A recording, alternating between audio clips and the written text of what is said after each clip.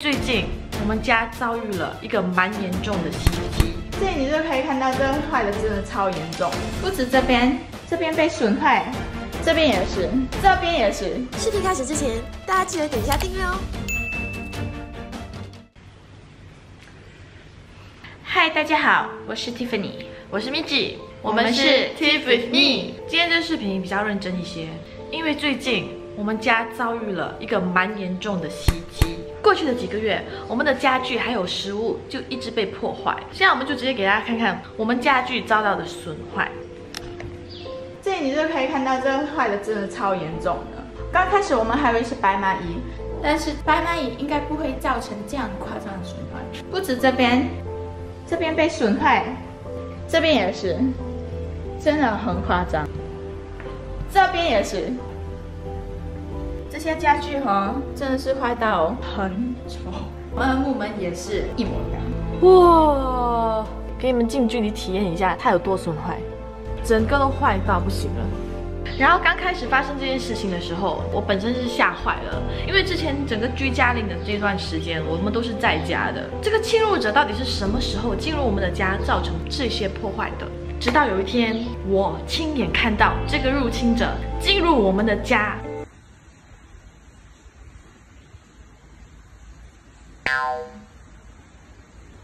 What it wants. Oh my gosh. This girl is the one who destroyed my furniture. 对的，这些破坏就是一群松鼠干的。真的没有想到这一群小小的松鼠可以造成这么大的损坏，而且他们真的很夸张。从一开始的偷吃我们水果这些，后来就直接破坏家具。因为每次看到他们的时候，我们最多也就是嘘这样把他们赶走。他们就发现我们没有对他们造成任何实际上的伤害，他们就越来越嚣张。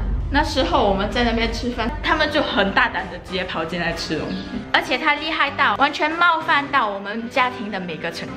他摔碎了我们爸爸的奖杯。我最喜欢的麻辣面总共有三盒，他每一盒都掰开一个小洞，然后丢在那边。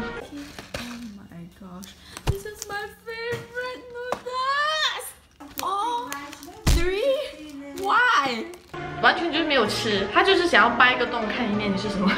我最喜欢吃的 cereal 完全是密封的哦，他从底部掰一个洞，然后就需要整包丢掉，因为毕竟这个东西你不知道它有没有毒，所以安全比较重要。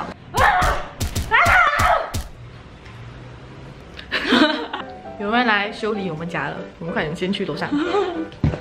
然后这几天陆陆续续都会有一些装修的人来。目前我们这样子听，至少要花个几千甚至上万块去修复这些破坏。这个安哥，这位安哥，我可以采访一下你吗？我想问你，就是对于那个松鼠造成这么大的破坏，你有什么想法？嗯，没有办法了，还没有做到，你的房都还没有已经倒了啦，等一下我 pass 给你了。你先跟我讲，请问你是不是私底下说过想要把他们烧死？没有了，没有这样残忍的。请问为什么你要撒谎？所以这个安哥，你有没有很生气啊？没有了，我多开心。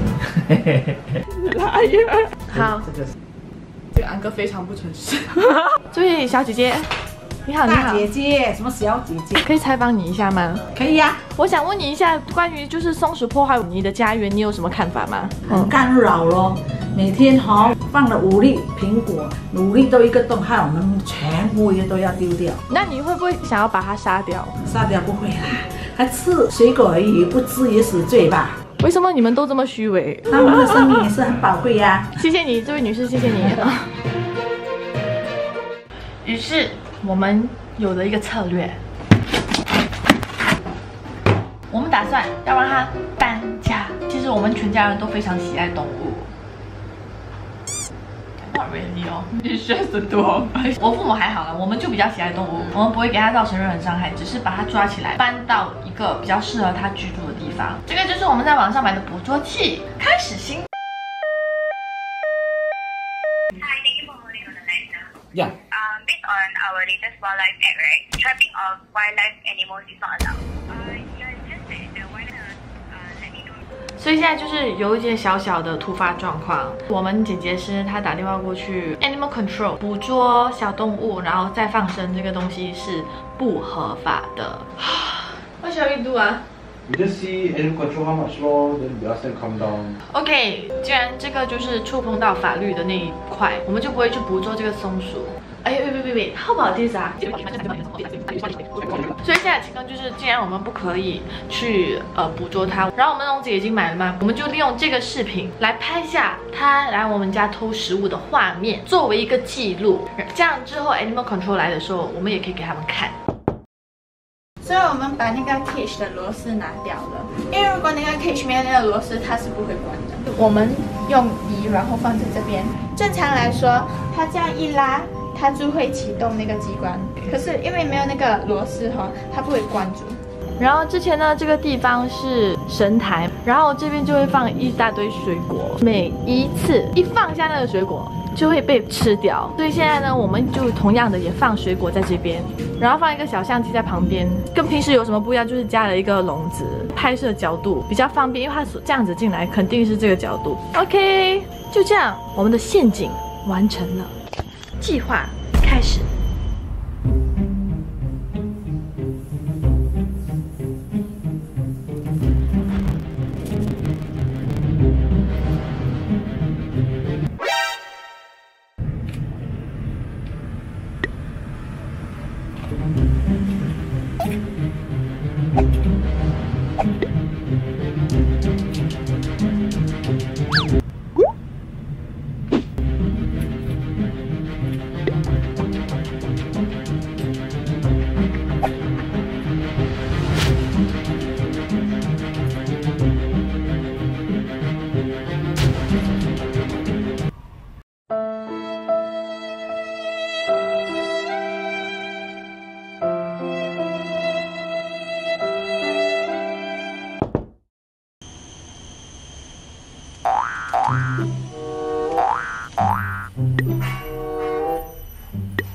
始。所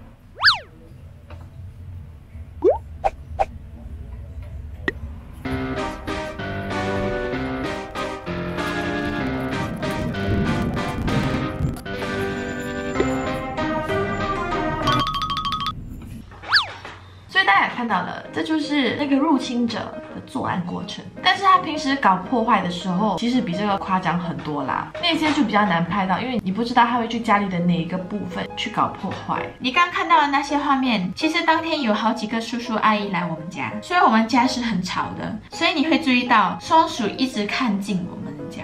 要是家里没有人的话，他应该会直接跑进家里，在里面搞破坏。还有一件事情就是，他们其实是一群松鼠，而不是一只松鼠。我们仔细看了那些拍到的画面，其实第一天捕捉到的那个松鼠画面，跟第二天的那个松鼠是不一样的松鼠。所以呢，这个小小的纪录片也算是我们收证据的一个方法。接下来我们也会跟我们的父母讨论要做什么，基本上应该就是会去叫资源，直到我们成功保护我们的家园不受侵入者的破坏。这件事情没完。